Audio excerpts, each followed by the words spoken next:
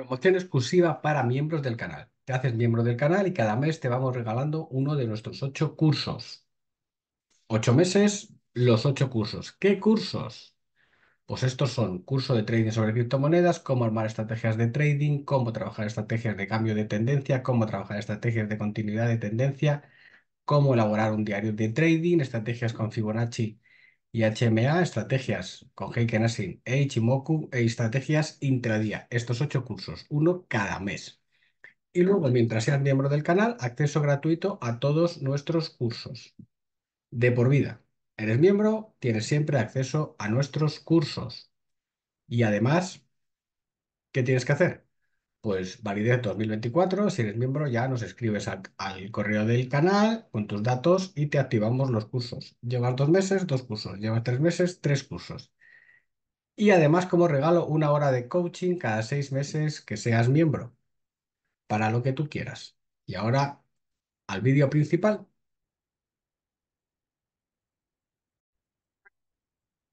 Hola a todos y bienvenidos a Educación Financiera, Criptomonedas, Bitcoin, Creación de Riqueza, Transferencia de Riqueza. ¿Por qué lo decimos? Porque Hacienda exigirá informar de todos los pagos con tarjeta para evitar el fraude fiscal. Pues fijaos que al final eh, Bitcoin va a ser una de las soluciones. Ambas cosas según cómo se use. ¿Vale? Para pagos con Lightning Network. Transferencia de riqueza, sí. Creación de riqueza, también. Vamos a ver un poco los tips y luego vamos a lo que dice Hacienda, que es que te va a controlar hasta los Bizum de cómo te tomas dos cervezas. Te has tomado dos cervezas y me tienes que pagar. Vale. Curioso.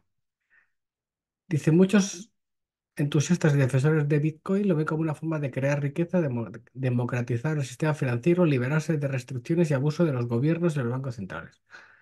Aquí está.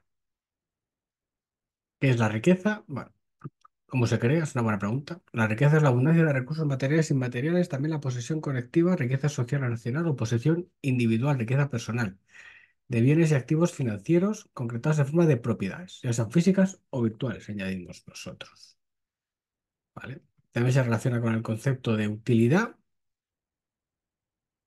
que permite transformar, que es el resultado del trabajo y la tecnología, que nos permite transformar recursos naturales en bienes y servicios que satisfacen nuestras necesidades, por ejemplo, el petróleo. ¿Vale?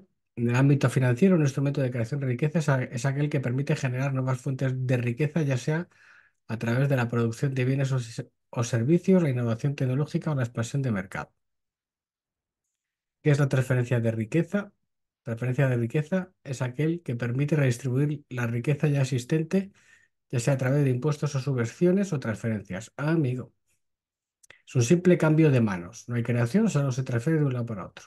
El gobierno recauda impuestos a los ciudadanos, una organización que otorga becas a los estudiantes o una familia.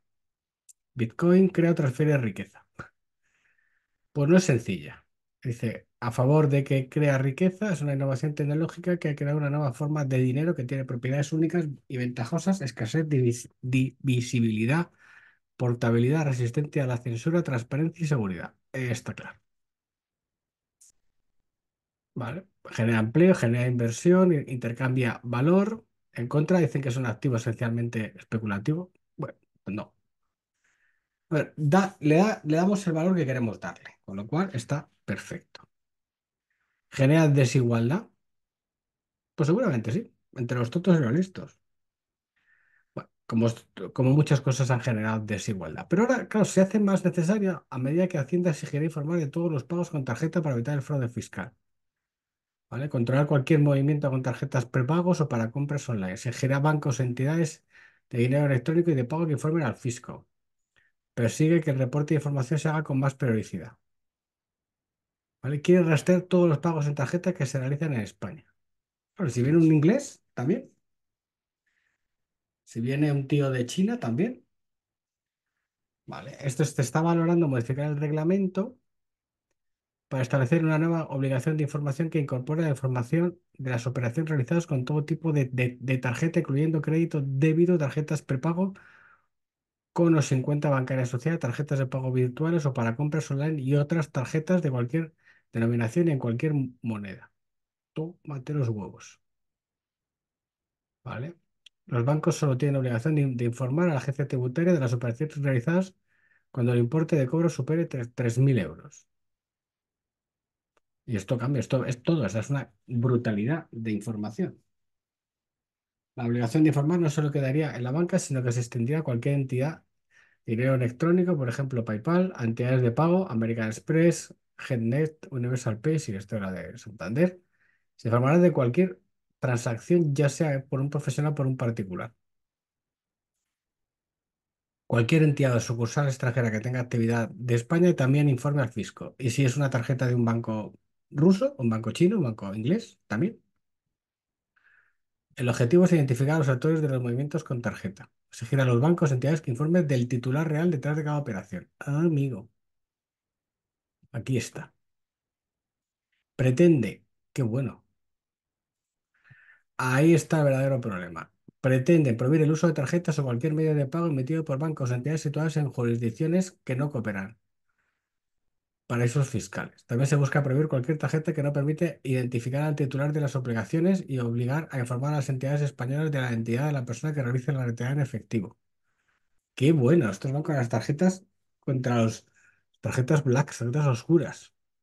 Reforzar el control sobre las TPVs, de modo que solo puedan acceder a este sistema las personas que estén dadas de alta en el impuesto de actividades económicas y estén al corriente de acciones tributarias. Tú no puedes tener el TPV si no estás dado de alta. Se aumenta el control sobre las tarjetas detrás del titular real de la operación. Qué tíos. Joder, es increíble, ¿eh? o sea, un un... El gobierno refuerza las criptomonedas buscando a quien el titular real detrás de cada operación de, de tarjetas. Es increíble, ¿eh? Joder, qué tíos. Vamos, vivir en España, pero sin España, cada vez más difícil. Un abrazo y hasta siempre. Pues lo que se va a conseguir con esto, además de, meterle un poquito de presión, es que muchísima gente de fuera no se gaste la pasta en España, se la gaste en otros sitios que, que no se busque el titular real de cada operación. ¿Consecuencias? Pues menos pasta entrarán en España, bajarán el precio de las cosas. No hay mal que por bien no venga. Porque nadie se podrá utilizar la tarjeta para pagar muchas cosas. Un abrazo y hasta siempre. Hola a todos y bienvenidos a Educación Financiera y Criptomoneda. Todos nuestros cursos durante un año por solamente 99 euros, más una hora de coaching gratis. Nuestros cursos de trading, trading de criptomonedas, cómo armar estrategias de trading, cómo trabajar estrategias de cambio de tendencia, cómo trabajar estrategias de continuidad de tendencia, cómo elaborar un diario de trading, estrategias con Fibonacci y HMA, estrategias de trading con Heiken Ase e Ichimoku y 11 estrategias de trading intradías. Los 8 cursos, 99 euros, un año, validez, pues todo este año y el año 2024. Escríbenos a tallerdeinversión.gmail.com tus datos de contacto, nombre y apellido y te damos de alta. Y ahora vamos al vídeo principal.